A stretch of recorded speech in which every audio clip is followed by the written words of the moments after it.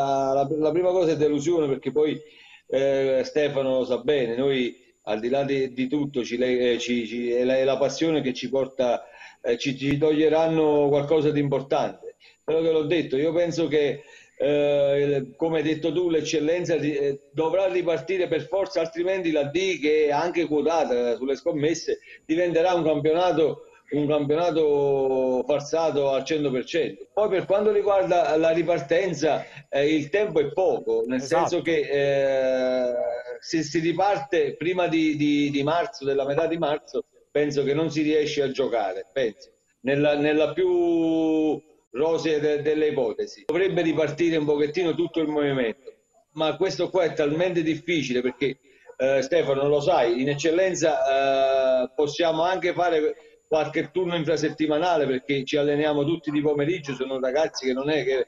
tranne qualche squadra penso, eh, non è che lavorano, vivono di questo, perciò qualche turno infrasettimanale si può anche prevedere, mentre in promozione, e non parliamo della prima e della seconda categoria, sarà molto ma molto difficile. L'ultima intervista fatta da, da un'emittente televisiva al nostro presidente del comitato regionale Campania,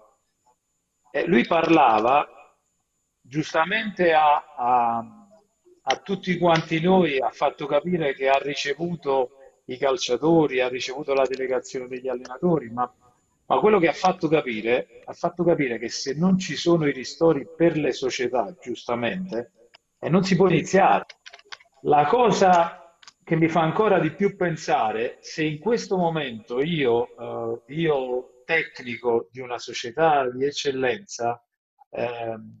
devo uh, stare uh, allo stesso modo della società di serie D, fare gli stessi tamponi che fanno loro, io faccio una domanda a voi, ma come mai non si è pensato di farlo tre mesi fa,